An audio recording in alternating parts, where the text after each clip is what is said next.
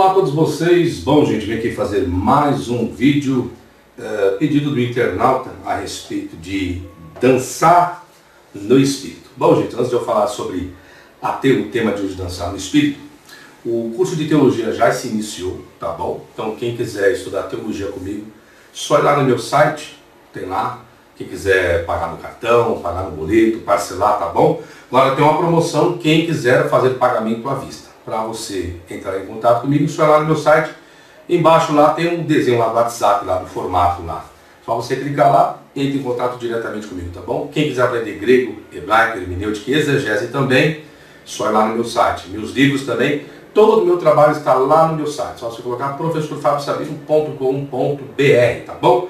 Gente, é o seguinte, é, me mandaram aí um, algumas pessoas mandaram alguns vídeos para mim e eu, algumas pessoas sabem que eu não lido com, com visão de igreja, de denominações. Eu sei que existem alguns costumes, algumas igrejas têm alguns costumes. Eu vou lidar e lido apenas com a questão interpretativa de texto. A pessoa falou, professor, eu arrumei um, um rapaz em um site que ele colocou alguns fundamentos, utilizando passagens bíblicas e alguns termos em hebraico, dizendo que existe fundamentação para que algumas pessoas fiquem rodopiando aí dentro das denominações, fazendo assim, assim, bom, enfim. Tem um monte de vídeo por aí, né? não vou colocar isso também para não ter problema com direitos autorais. Então existe aí uma, uma gama de, de vídeos nas redes sociais demonstrando isso e tem até algumas outras pessoas que comparam essas manifestações, né, vou colocar dessa forma, tá bom? Essas manifestações do círculo religioso com, com manifestações de, de cultos afro, e faz até a comparação. Mas isso não é o que importa para mim. O que importa para mim é, existe fundamento ou não? Essa é a questão.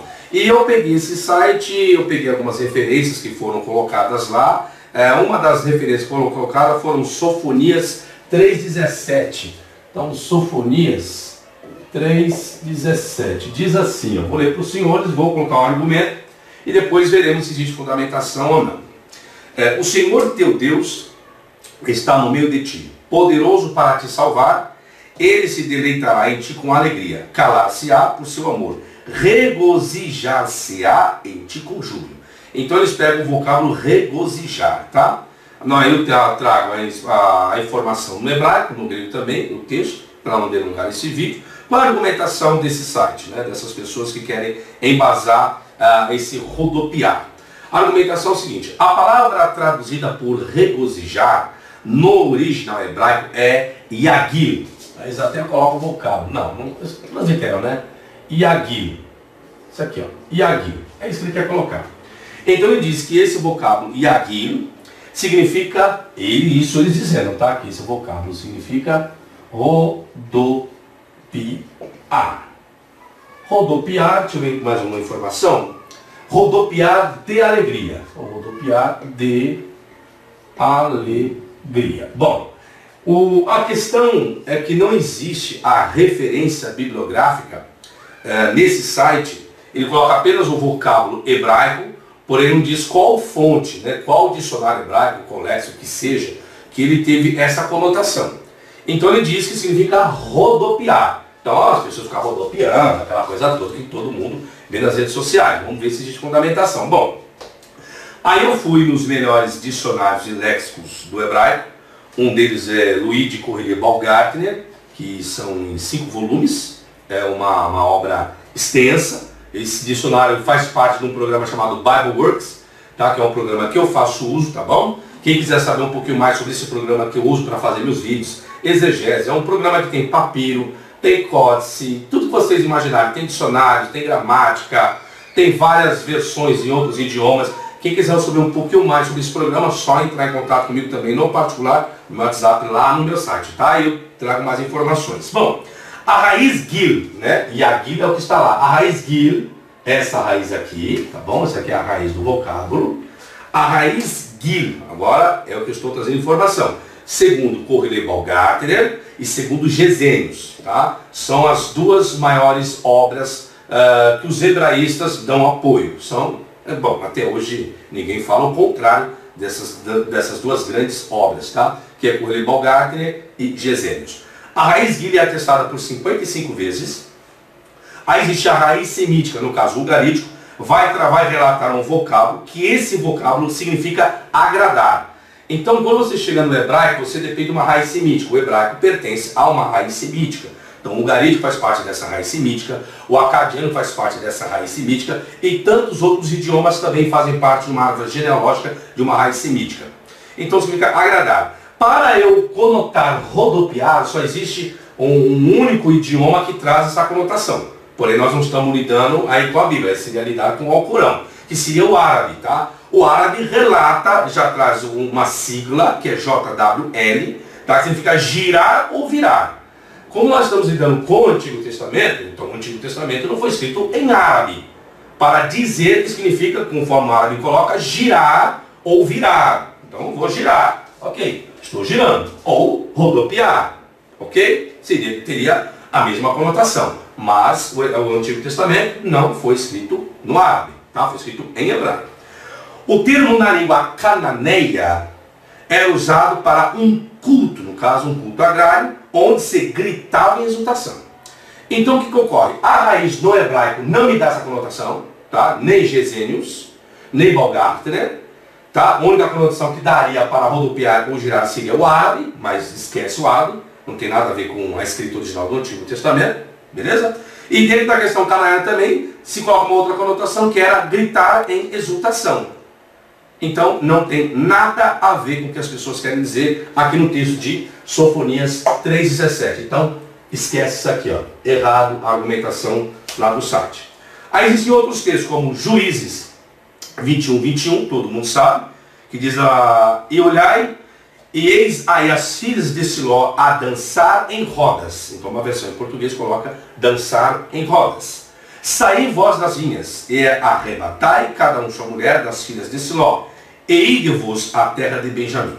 Aí diz que a expressão lahul, em hebraico lahul também, expressão lahul, então a expressão lahul em hebraico, eles vão colocar que também tem o mesmo significado. A narrativa de Juízes 21, essa argumentação deles, indica que anualmente se realizava uma celebração em Siló devido às colheitas. Até então, fundo histórico, cultural, não tem problema nenhum. A palavra que aparece em hebraico é lahul, que, que é derivada de hul, que é a raiz. Seria isso aqui a raiz. Porque a raiz em hebraico é triconsonântica. Isso ensina no curso de hebraico. Para quem estudou, para quem quer estudar um pouquinho, tá? Então a raiz é hul, que indica uma dança comunitária em roda. Opa, peraí. Uma dança comunitária em roda é fazer um círculo. É dançar em círculo. Isso em roda. As pessoas em roda não roda. Ok? Então, uma dança comunitária, um grupo de pessoas. Não que os grupos de pessoas estão rodando, como já vi aí, rodando para lá assim. Não tem nada a ver. É uma coisa você dançar, né? Pega na mão do outro, vai dançando em roda. Isso. Isso é dançar em roda. Nada a ver com que as pessoas estão bem sujando até o jaleco aí, que eu esbarrei aqui na lousa. Então, não tem nada a ver também. Bom, Vou colocar minha argumentação. O Pentateuco samaritano relata o sentido de dançar ou dar volta. Ok? Dar volta em algo, não dar volta em si mesmo. Já o árabe relata a forma que significa girar. Tá vendo? Girar. Então o árabe sempre vai trazer essa conotação. No texto de Juízes, o muito que se possa colocar pelo vocábulo hebraico é dançar em uma roda. Então tem uma roda ali formada, ah, então eu vou entrar naquela roda e vou dançar junto com as pessoas naquela roda. Tá ok? Um outro texto também. É o texto lá de Samuel. Diz que, segundo Samuel 6,14, que eles colocam assim, ó. O texto diz, Davi dançava com todas as suas forças diante do Senhor e estava cingido de uma estola sacerdotal de linho. Aí o vocábulo, o argumento é o seguinte, diz assim, no site, né? É comum pensarmos que a dança de Davi era uma sequência de saltos e movimentos desordenados. Essa é a colocação deles. Mas, na verdade, a palavra que designa a dança do rei indica movimentos coreografados. Porém, lá no site eles não colocaram qual vocábulo seria esse. Eles apenas colocaram esse conceito, mas não especificaram qual vocábulo hebraico era. Ok característico das festas comunitárias oferecidas em louvor a Deus daquele período. Aí eu coloco minha argumentação. O vocábulo hebraico merharer, merharer origina-se da raiz carar e relata o seguinte significado. Vamos lá, carar. Vou colocar aqui, vai. Carar. Essa é a raiz, carar. Vou colocar um da lixa aqui, vai. Uh, carar, que significa mover em círculo. Mover em um círculo. Aí, não mover em círculo, tem diferença. Mover em círculo, estou movendo em círculo. Mover em um círculo, opa, uma roda. Ah, tem uma roda, vou me movimentar junto com aquelas pessoas que estão naquela roda. Entendeu a diferença? Se eu tirar isso aqui, ó, já muda todo sentido. Ó. Mover em círculo e mover em um círculo. Tá? Então, mover em um círculo. Esse é o texto lá de, de Êxodo, desculpa, é o texto de 2 Samuel 6,14, versículo 16, a mesma raiz. Então, não tem por onde correr. E o último texto que eu estou alegando aqui é o famoso texto lá de Êxodo, que é Êxodo 15, 20, que diz assim: Então Miriam, a profetisa, a irmã de Arão, tomou o tamboril na sua mão e todas as mulheres saíram atrás dela com tamboris e com danças. Aí será que essas danças, né? essas coisas que o pessoal faz lá, diz que é manto, é, dançar no espírito, será que é isso? Bom, o vocábulo hebraico me, merolá, que aí vai entrar esse vocábulo aqui, ó, merolá, tá? O que significa merolá? Dançar em uma roda, ok? Então o que, que ocorre, gente? Dessas passagens bíblicas, eu utilizei alguns vocábulos em hebraico uh, para ver se dava conotação desse negócio que pessoal faz. Agora, o que é mais interessante, eles falam, ah, dançar no espírito. Não existe uma referência bíblica que fale sobre esse negócio de dançar no espírito. Não existe. Aí uma outra pergunta é, as pessoas estão conscientes ou inconscientes? Né? Porque tem gente que roda com os olhos fechados, como se fosse... Bom, gente, biblicamente existe fundamentação? Estou provando aqui que não existe fundamentação para isso. Logo, isso trata-se do quê? Trata-se de uma desculpe o termo, uma patifaria. É um movimento que não tem nada de espiritual, tá? não tem nada de espiritual, não tem nada de religioso, não tem nada de fundamentação bíblica, e você não vê nenhum desses movimentos na Bíblia. Ainda mais para aqueles que utilizam o termo cristão. Eu não encontro nenhuma manifestação disso daqui no Novo Testamento. Jesus, não existe uma referência daquilo que está canonizado, de que as pessoas tinham essas movimentações. Então isso é uma questão psicológica. Então essas pessoas, elas precisam fazer um tratamento psicológico.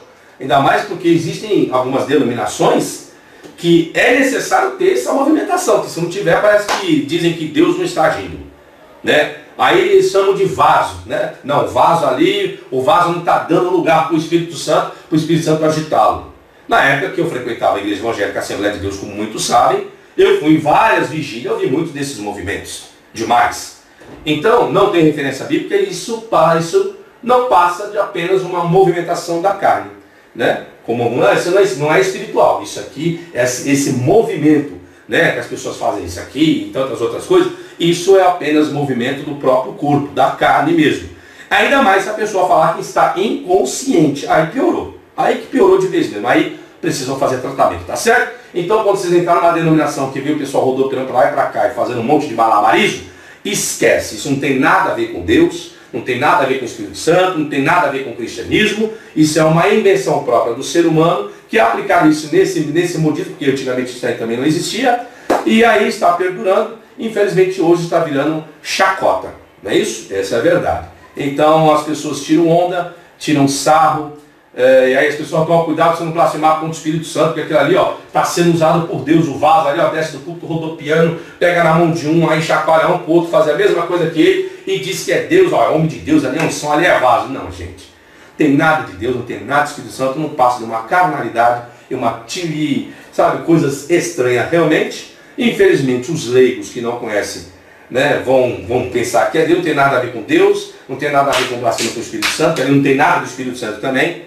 Tá certo? Porque para ter alguma coisa, vamos colocar, vou colocar nessa lógica, para aqueles que têm a fé e a crença, né? Então, para que fosse o Espírito Santo, primeiro que o Espírito Santo, eu estou colocando na ótica de vocês, tá? Não que seja a minha ótica, tá bom? O Espírito Santo não poderia desrespeitar a própria Bíblia dos senhores, não é isso? Né? Se ele é o Espírito Santo, ele não pode respeitar a Bíblia, nem Jesus, nem o Deus. Porque se a Bíblia é divina, para alguns, não que esse seja o meu conceito, ok? Para ficar bem claro para vocês, tá bom? Se a Bíblia é divina, logo quem inspirou as pessoas a escreverem? O Pai, o Filho e o Espírito Santo, certo? Na lógica de vocês, tá? Estou, vou ficar aqui neutro, estou colocando segunda visão que muitos têm. Não que essa seja a minha, estou deixando isso bem claro aqui para os senhores, tá bom? Então, se eu colocar nessa moda de vocês, se a Bíblia divina é inspirada pelo Espírito Santo, por Deus e por Jesus, etc e tal, logo nenhum dos três pode respeitar aquilo mesmo que os três inspiraram as pessoas a escreverem. Beleza? Primeiro ponto. É esse. Ok. Isso dentro dessa, dessa lógica, tá? Aí, cadê a fundamentação para isso? Para rodopiar, para pular, para dizer que é manto, para dizer que é vasto, que é homem de Deus, que é o Espírito Santo que está agindo, é o Espírito Santo que está tomando a pessoa, para rodopiar isso e aquilo, sobe no público, desce no público, sobe acima do banco, desce do banco, dá pirueta, dá camarota, dá mortal, o raio que o pata. Me desculpe, gente. Isso não é Espírito Santo, não.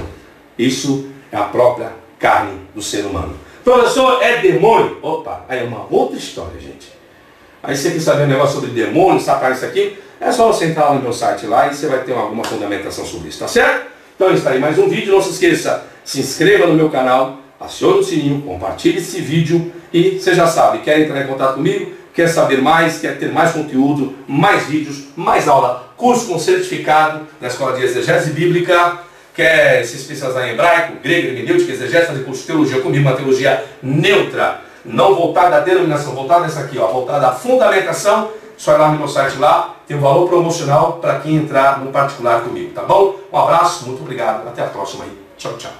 Olá a todos vocês. Bom, gente, minha equipe de gentileza, para que você não se esqueça de se inscrever aqui no meu canal. Acione o sininho para você receber as devidas notificações. E você também pode obter mais conteúdo, mais informações de alguns vídeos lá no meu site no www.professorfabiosaber.com.br, tá certo? Até a próxima, sucesso e tchau, tchau!